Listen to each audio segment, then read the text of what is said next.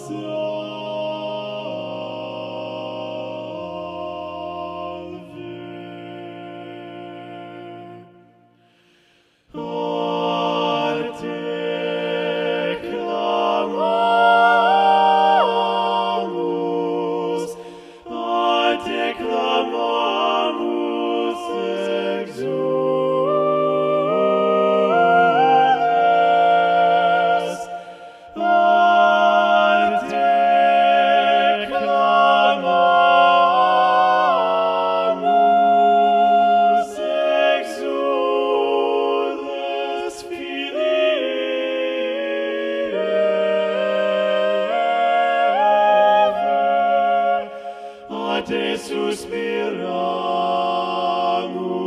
gementes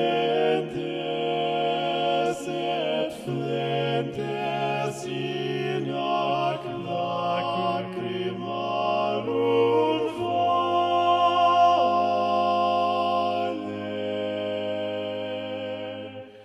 Ea, ergo, advocata nostra,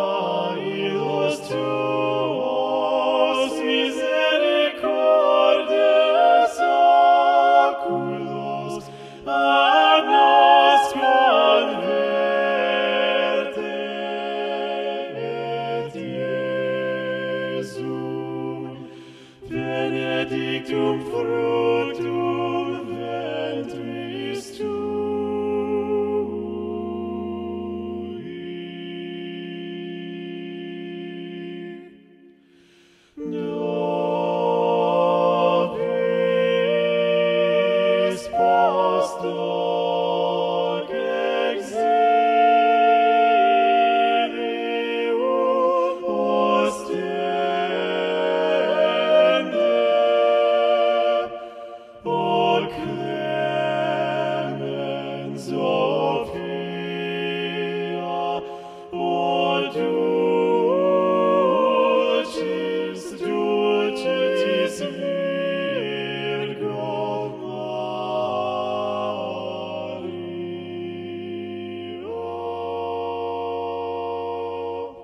you.